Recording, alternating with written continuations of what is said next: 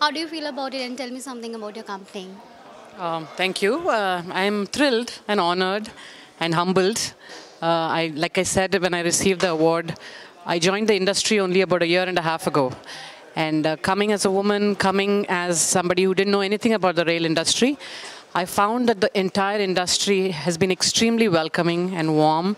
They've been ready to teach me and uh, uh, help me succeed.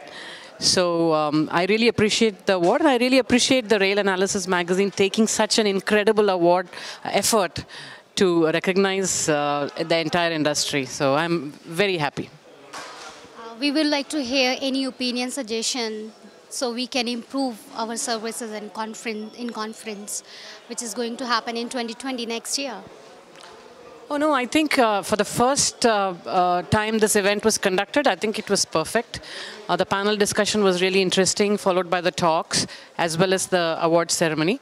Um, I think the challenge for rail analysis will be to uh, make it different every time so that people don't feel that they're coming and attending the same thing over and over again. So to bring in more content, to bring in something different, innovative, that will be the challenge. But uh, based on what I saw today, I'm sure the team will, will rise up to the expectations. Thank you, ma'am. Thank you for your valuable time and this suggestion. Thank you.